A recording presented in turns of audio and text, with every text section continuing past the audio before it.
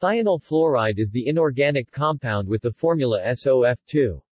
This colorless gas is mainly of theoretical interest, but it is a product of the degradation of sulfur hexafluoride, an insulator in electrical equipment. The molecule adopts a distorted pyramidal structure, with C-symmetry. The SO and SF distances are 1.42 and 1.58 a, respectively. The OSF and FSF angles are 106.2 and 92.2 degrees, respectively. Thionyl chloride and thionyl bromide have similar structures, although these compounds are liquid at room temperature. Mixed halides are also known, such as SOClF, thionyl chloride fluoride. Synthesis and reactions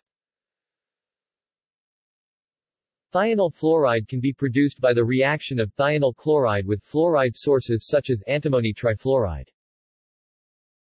3-SOCl2 plus 2 antimony 3 fluoride 3-SOF2 plus 2 antimony 3 chloride Alternatively, it arises via the fluorination of sulfur dioxide,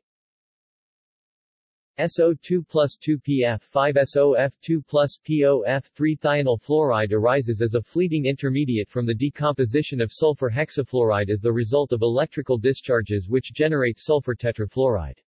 SF4 hydrolyzes to give thionyl fluoride, which in turn hydrolyzes further as described below. As expected from the behavior of the other thionyl halides, this compound hydrolyzes readily, giving hydrogen fluoride and sulfur dioxide, SOF2 plus H2O2HF plus SO2 In contrast to thionyl chloride and bromide, thionyl fluoride is not useful in organofluorine chemistry.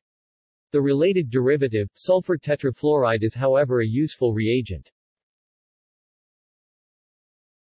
References External links